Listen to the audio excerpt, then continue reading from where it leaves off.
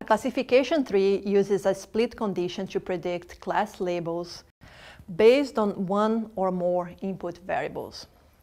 The classification process starts from the root node of the tree, and at each node, the process will check whether the input value should recursively continue to the right or left sub-branch, according to the split condition. This process stops when meeting any leaf or terminal nodes.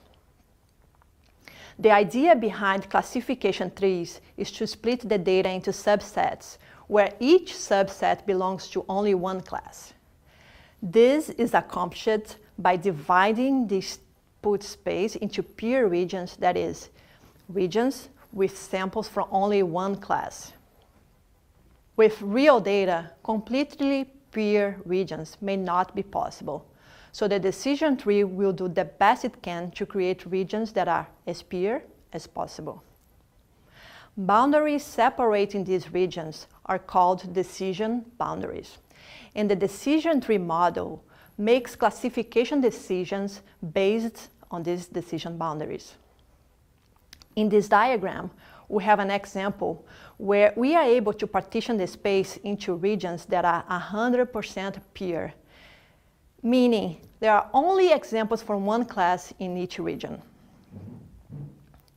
The goal is to partition data at a node into subsets that are as pure as possible.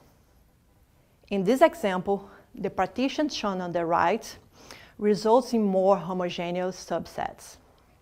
Since these subsets contain more samples belonging to a single class than the result subsets shown on the left. So the partition on the right results in pure subsets and is the preferred partition. Therefore, we need a way to measure the purity of split in order to compare different ways to partition a set of data.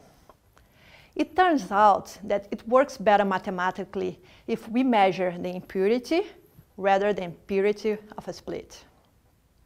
So the impurity measure of a node specifies how mixed the resulting subsets are. Since we want the resulting subsets to have homogeneous class labels, not mixed class labels, we want the split that minimizes the impurity measure. A common impurity measure used for determining the best split is the Gini index.